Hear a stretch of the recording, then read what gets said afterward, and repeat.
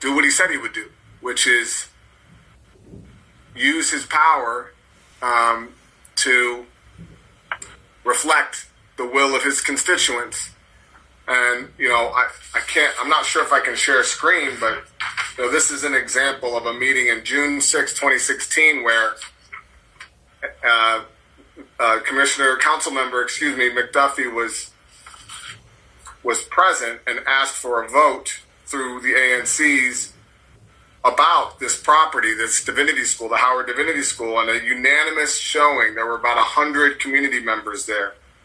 The vote on the record was unanimous that no new development should take place on the HUSD property. This is a historic, historic space um, for the Howard students, for the community, um, and it's been zoned institutional for hundreds of years. It hasn't been changed for a reason.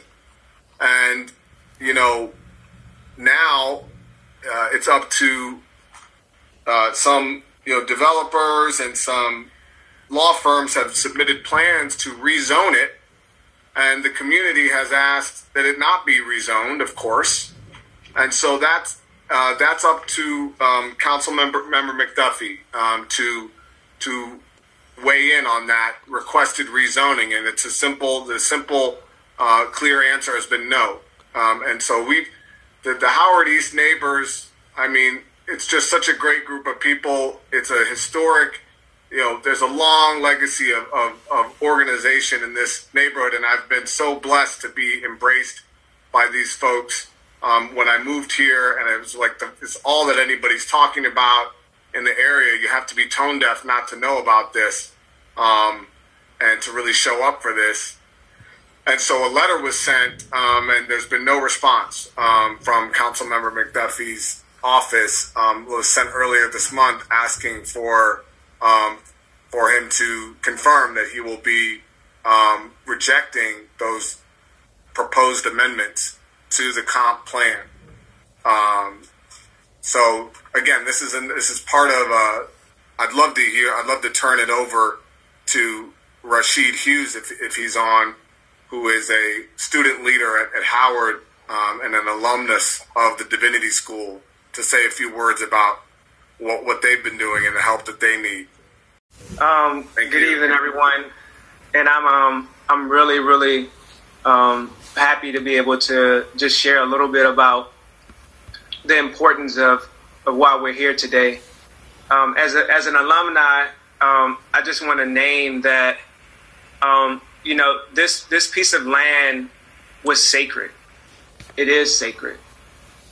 You know, it's a, it's a sacred space for, for undergraduate students, but also black graduate students and alumni and their families. Not just for students, but their families as well you know, when I was a student there, and, and I actually lived on the property while studying there for three years, I lived there. We had pride in the land. Um, we learned about the history of the building, um, and we understood that where we were studying and where we were living and learning um, was a, a, a place of, of, that was sacred. Um, we learned about those who had walked the halls before us, and we felt a connection to those who who sat in the chairs before the, before us and taught us. Um, and we also learned about um, the lineage of the Franciscan order, um, the monks who had inhabited the land in the space for years prior to Howard. Um, so, as you know, as an alumni, um, you know, I, I, would often return to the land to participate in, in ongoing uh, current activities, but also to to sometimes speak to the students the current students, provide, you know, we would often provide professional coaching to the students who were there, um, as many of us had graduated and started our careers. Um, and then, most importantly, it was a place where we could go to to contemplate and to find a sense of solace. So this this space was wasn't just a building on a pretty piece of land that had green grass, but it was a it was a place that was sacred where many of us will return for hope and for inspiration. Um, so I, I, I think about, as I close, I think about how you know, many people make make trips to Mecca, some to Jerusalem, some to Egypt, some to Tibet. For black students, whether you graduated from HUSD or, or went to another divinity school in the area, we would return to this place. So whenever I pass this land now, you know, I I kind of I kind of just say a breath prayer of gratitude for all the seeds that were planted there for me during the time when I was studying and had the privilege to be on the land. And I hope that students in the future um, will also be able to benefit from the land just like I was able to. So